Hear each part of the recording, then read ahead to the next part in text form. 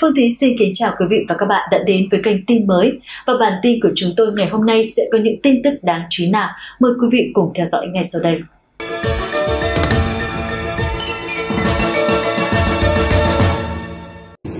Bản tin lũ lụt Trung Quốc mới nhất ngày 30 tháng 6 năm 2023. Thưa quý vị, theo thông tin mới nhất mà chúng tôi mới cập nhật được từ tờ báo Bưu điện Hoa Nam, cơ quan ngôn luận của Đảng Cộng sản Trung Quốc cho biết vào đêm ngày hôm qua tại thủ đô Bắc Kinh, khi những cơn mưa đang trút hàng ngàn mét khối nước xuống thủ đô của nước này, thì ông Tập Cận Bình được cho là đã tiến hành một cuộc họp khẩn cấp. Thành phần cuộc họp muộn ngày hôm qua bao gồm toàn những quan chức cấp cao của chính phủ Trung Quốc để bàn gấp về việc đưa ra những phương án giải cứu con đập Tam Hiệp và những tuyến đê bao xung quanh con sông Dương Tử, con sông Hoàng Hà và con sông Mekong vì mưa lũ suốt 73 ngày đêm vừa qua đã làm cho toàn bộ đất nước của Trung Quốc chìm trong biển nước. Ngoài ra, trong vòng một tháng vừa qua, bốn cơn bão lớn liên tục ùn ùn đổ vào những thành phố lớn của Trung Quốc như Thượng Hải, Trịnh Châu, Bắc Kinh, Quảng Đông, Quảng Tây, Tứ Xuyên, Hồ Nam, Vũ Hán và Hồ Bắc, làm cho nhiều khu du lịch như Phượng Hoàng Cổ Trấn tiếp tục ngập chìm trong nước lũ và dự kiến rằng con đập Tam Hiệp sẽ bị vỡ nếu như Trung Quốc hứng chịu thêm một cơn bão nữa. Giới chức cao tầng của Trung Quốc cho biết mưa lũ suốt 73 ngày đêm vừa qua đã làm cho đất nước này bị tê liệt, nhà cửa bị cuốn trôi, hàng vạn người bị thất nghiệp, cuộc sống của người dân bị đảo lộn. Chính vì vậy mà ông Tập Cận Bình đã chủ trì cuộc họp vào đêm ngày hôm qua và trong suốt 4 tiếng đồng hồ từ 9 giờ tối tới 1 giờ sáng. Các quan chức cao tầng của Trung Quốc có mặt rất đông đủ, thành phần phiên họp toàn những tên tai to mặt lớn.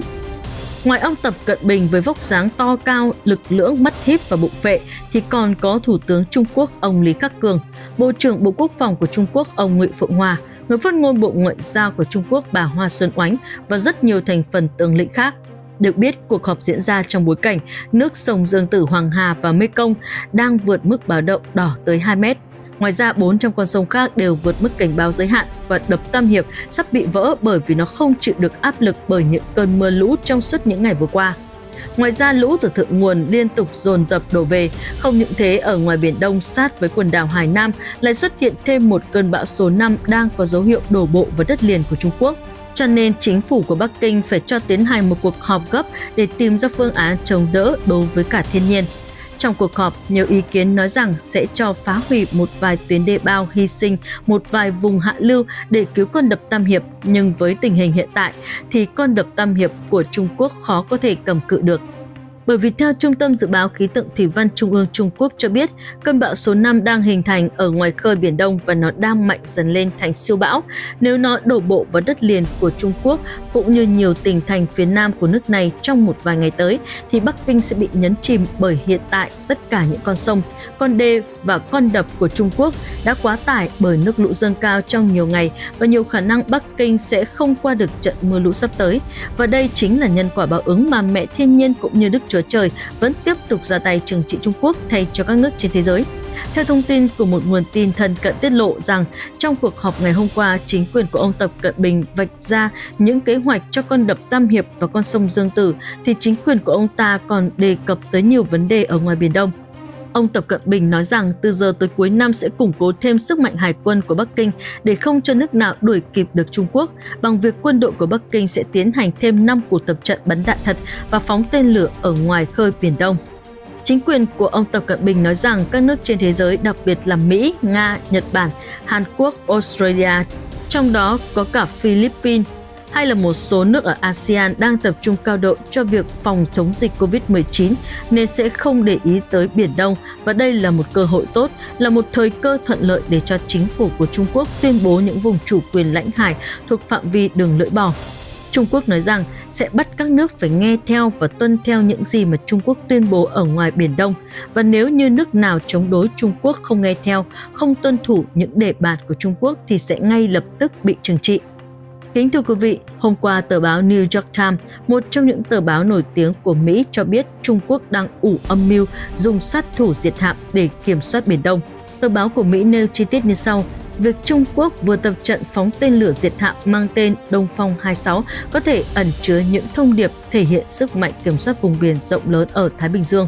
Lực lượng tên lửa trực thuộc quân đội Trung Quốc PLA vừa tổ chức một cuộc tập trận và phóng tên lửa rất nhiều ở ngoài khơi Biển Đông để đe dọa các nước trong khu vực. Tờ báo của Mỹ còn trích dẫn lời người phát ngôn Bộ trưởng Bộ Quốc phòng Hoa Kỳ. Ông Lloyd Austin nói rằng Trung Quốc đang lợi dụng các nước trên thế giới phòng chống dịch bệnh COVID-19 để liên tục tổ chức các cuộc tập trận bắn đạn thật và phóng tên lửa, thể hiện sức mạnh và uy lực của quân đội Bắc Kinh.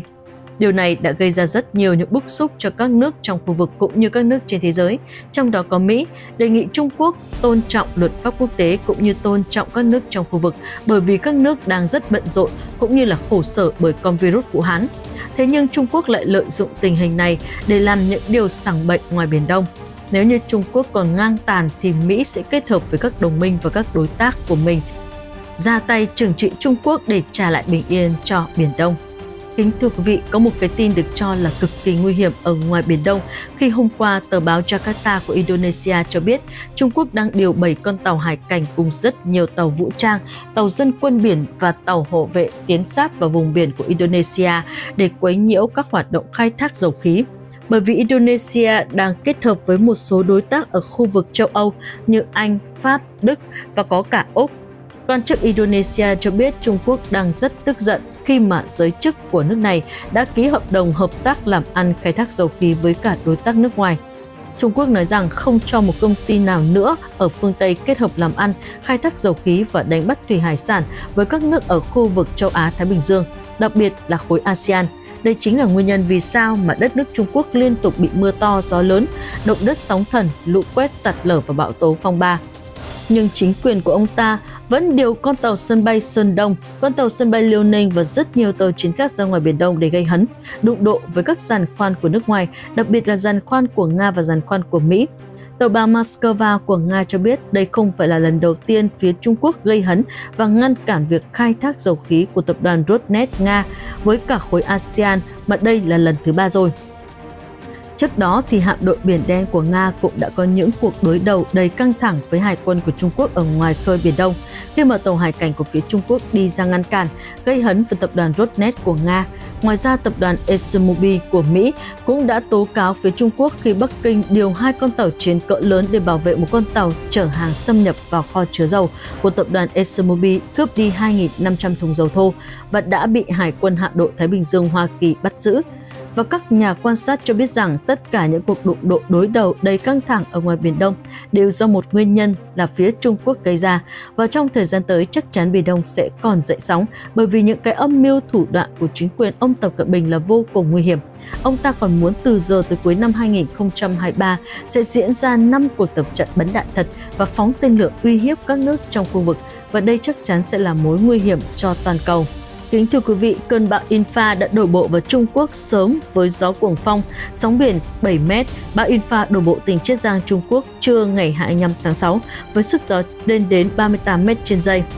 Trên cấp 13, ở tâm bão, sóng biển cao từ 5 đến 7 mét. Tân Hoa Xã đưa tin, Tin bão mới nhất của Trung tâm Khí tượng Quốc gia Trung Quốc cho biết bão Infa đã đổ bộ vào bờ biển Phổ Đà ở thành phố Chusan thuộc tỉnh Chiết Giang, miền đông Trung Quốc. Vào lúc 12 giờ 30 phút ngày 25 tháng 6, Cơn bão mang theo sức gió cực mạnh lên tới 38 m trên giây, tương đương 136,8 km h tại tâm bão. Sức gió 38 m trên giây được xếp vào cấp 13 cộng, tức cấp gió cực mạnh theo thang sức gió Beaufort. Khoảng 200 cảnh báo về thiên tai khí tượng đã được đưa ra ở các tỉnh Thượng Hải, Chiết Giang và Giang Tô, miền đông Trung Quốc tính đến sáng ngày 25 tháng 6. Trong số này, 132 cảnh báo được đưa ra tính đến 8 giờ ngày 25 tháng 6, chỉ riêng ở Chiết Giang, nơi đang chịu ảnh hưởng nặng nề của cơn bão. Trong khi đó, Trung tâm Dự báo Môi trường Biển Quốc gia đã duy trì cảnh báo kép màu đỏ đối với chiều cường và sóng ở Thượng Hải vào sáng ngày 25 tháng 6 và cảnh báo màu đỏ đối với chiều cường ở khu vực Vịnh Hàng Châu ở Chiết Giang. U Rui, Giám đốc Cục Khí tượng Thượng Hải nói với Hoàn Cầu Thời báo rằng thời gian mưa lớn nhất ở Thượng Hải dự kiến xảy ra vào chiều ngày 25 tháng 6 đến sáng ngày 26 tháng 6 với lượng mưa trung bình đạt mức bão nhiệt đới. Lượng mưa tích lũy sẽ đạt từ 150mm đến 200mm, trong khi một số khu vực lên đến 250 đến 350mm. Lượng mưa tối đa hàng giờ dự kiến đạt 40 đến 60 mm, một số khu vực đạt 80 mm. Do bão Infa đã được dự báo đổ bộ Chiết Giang vào chiều ngày 25 tháng 7, sớm hơn dự đoán trước đó, nên thành phố đã thực hiện các biện pháp khẩn cấp bao gồm đình chỉ hoạt động của hàng không và đường sắt, đồng thời hạn chế tốc độ tàu điện ngầm ở các thành phố ven biển. Ít nhất 8 sân bay ở Thượng Hải và Chiết Giang đã hủy tất cả chuyến bay vào ngày 25 tháng 6. Khi cơn bão Infa mạnh lên, cơ quan quản lý đường sắt đã quyết định đình chỉ hoạt động đường sắt trên một số đoạn ở đồng bằng sông Dương Tử từ ngày 25 đến ngày 28 tháng 6. Các chuyến tàu điện ngầm số 5 và 16 của Thượng Hải và tuyến tàu điện từ Thượng Hải đều đã bị đình chỉ hoạt động, trong khi các tuyến khác chỉ tạm dừng một phần Do ảnh hưởng của bão, các công viên giải trí ở Thượng Hải bao gồm Shanghai Disney Resort, Shanghai Happy Valley và Shanghai Hangzhai Ocean Park tạm thời đóng cửa trong ngày 25 tháng 6. Các quan chức cho biết sự an toàn của người dân địa phương là điều kiện quan trọng hàng đầu trong công tác kiểm soát lũ lụt. Bão Infa đang di chuyển nhanh hơn dự kiến và sẽ đổ bộ vào các khu vực ven biển ở Tương Sơn, tỉnh Chiết Giang và Khải Đông, tỉnh Giang Tô vào chiều ngày 25 tháng 6, theo Trung tâm Khí tượng Quốc gia. Với gió mạnh và những cơn sóng khổng lồ cao tới 5 đến 7 mét, nước biển đã tràn vào nhiều địa điểm ở Ninh Ba và Chu San vào tối ngày 24 tháng 7. Người dân địa phương đã xây dựng các pháo đài bằng bao cát để ngăn chặn. Cơ quan quản lý khẩn cấp Chiết Giang kêu gọi tiến hành các biện pháp phòng chống lũ lụt ngay lập tức, đóng cửa các trường học, cơ sở sản xuất, chợ và giao thông đường bộ ở địa phương. Cảng Dương Sơn ở Thượng Hải đã sơ tán hàng trăm tàu thuyền. Tân Hoa Xã đưa tin hôm 24 tháng 6. Bí thư tỉnh ủy Chiết Giang John Jiang-jun nói rằng sự an toàn của người dân là điều quan trọng hàng đầu và mục tiêu là không có người chết, đồng thời hạn chế tối thiểu số người bị thương và thiệt hại kinh tế. Kể từ khi cơn bão lớn ở tỉnh Hà Nam, miền Trung Trung Quốc gây ra thương vong nặng nề trên tuyến tàu điện ngầm Trịnh Châu, Chủ tịch tỉnh Chiết Giang Zhang Jiaye khuyến cáo nên rút ra bài học từ thảm kịch này. Liên quan tới tình hình mưa lũ ở Trung Quốc, tình hình ở Biển Đông, tình hình dịch COVID-19 trên toàn thế giới hay tình hình kinh tế chính trị xã hội trên toàn cầu, chúng tôi sẽ liên tục cập nhật và gửi cho quý vị và các bạn vào các bản tin sau.